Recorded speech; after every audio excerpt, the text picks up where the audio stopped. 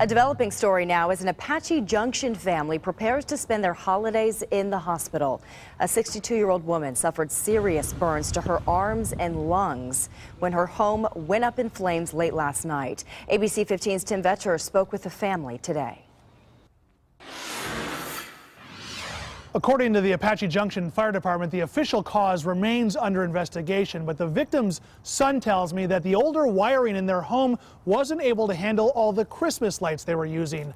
Regardless of the reason, we do know that the fire broke out at the home just before midnight Saturday night. 62-year-old Wari Stratton initially got out safely but went back in to retrieve some of her belongings and became trapped. Her husband rescued her, but not before she was badly burned.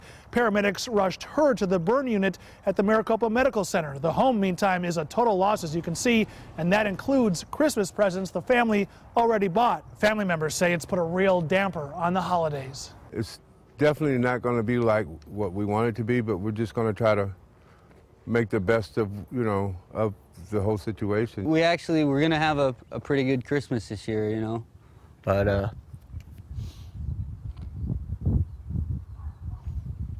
Not now, I guess. According to her son, Wari remains in critical condition and is heavily sedated because of all her burns. The family is going to have a real hard time not only paying her medical bills, but rebuilding their home out in Apache Junction. To find out how you can help the family, just log on to the top story section of our website, abc15.com. I'm Tim Vetscher, ABC 15 News. All right, Tim, thanks.